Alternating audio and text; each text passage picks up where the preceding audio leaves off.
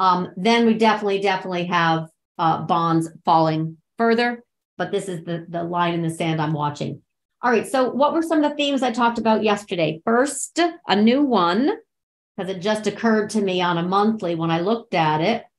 All right, so this is emerging markets and it goes along with the, the fading dollar. Okay, this is not just the trillion dollars in equity and China saying, um, you know, to, to ordering state banks to buy their stocks um, we obviously came right back down into some support. And that's what I'm looking at right now is kind of a tell that we have this evening star on a monthly, it's even stronger. Um, we need to get above 39.64 in pre-market. We are 39.46. So we're really getting close to pushing higher. And that is basically a dollar trade. EEM has a lot of China equities in it, number one.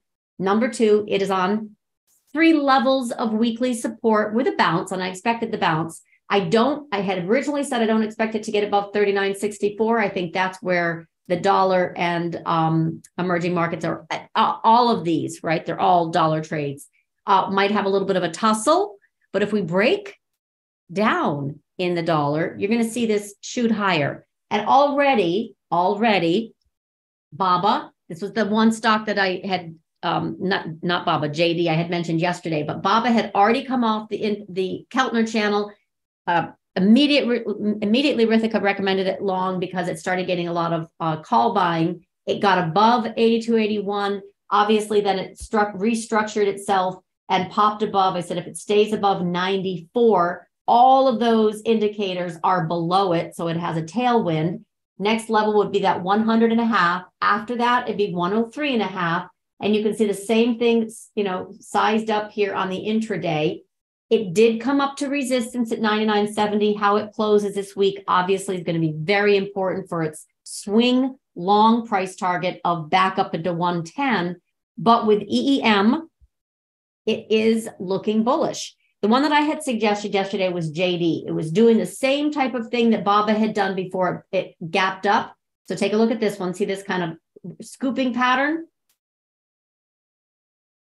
Baba had that scooping pattern just had a really nice kind of boom. Okay. Well, JD just did that this morning.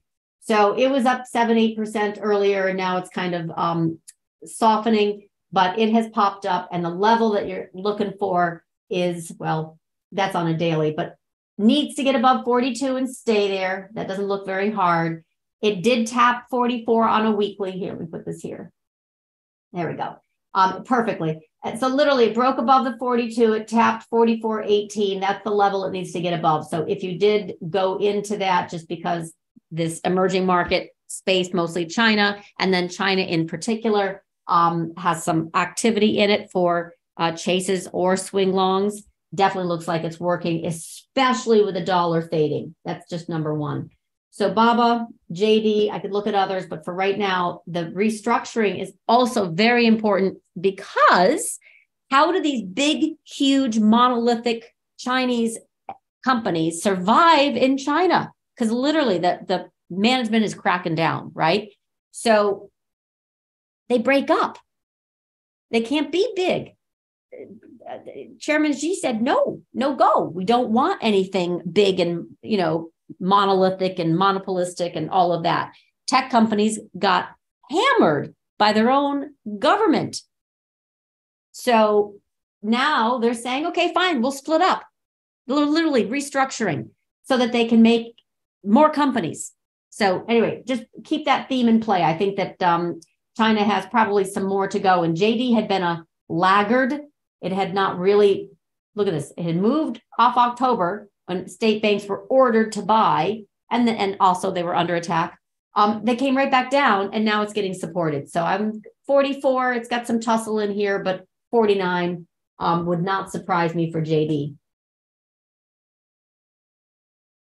Baba, 103.59 is price target, 103.52 doesn't really matter, but this is absolutely in play from the Keltner channel support very strong bar, no question. Wouldn't surprise me if it softens to 99.70 at some point this week, maybe tomorrow, but that is absolutely bullish, right? Gorgeous above all the indicators that matter. Just hugging that Bollinger Band. Little scoop down, 7 and 17 tag, and then pop up 103 and a half coming really strong. JD, really strong. It was a laggard yesterday. It looked like it was absolutely going to come in. It did. Here's your 44.18. Still needs to get above. All right. So JD is absolutely getting chased. Just gorgeous. So Baba was absolutely getting chased. Now it's JD's turn. I really, really, really can't emphasize that enough. That, if they say restructure, it's it, they're going to get chased. They just don't they're not allowed to be big. I don't know what it is, but it definitely has uh, put the bid in Chinese ADRs of size. I'll go take a look and see what others are in the realm, but that's already 2% since the open and really, really looked just like this yesterday. I mean, it is exactly what I expected. This curve, maybe we digest a little bit here. Really, if it, it just looks really good. It's all I can say about that. Baba, already at price target. I mean, perfect price target too. Uh, uh, just that's one, two, three, literally all time frames. Absolutely should digest here. Should doesn't mean it will, but absolutely should digest here and then get supported and move higher. EM is right there. 3964. For example, PDD. It's a China holding. It's on support at 7127. Needs to get back above this trend line. Bouncing off the 200 day. It's up 6% since yesterday, three and a half, 3.6% since the open. You can see a Bollinger Band squeeze pop.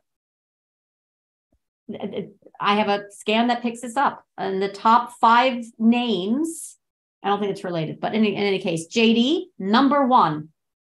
So when I say they're chasing JD, I can see the volume coming into this, this play. In just the last 30 minutes, it's seven, eight million. PDD, four and a half million.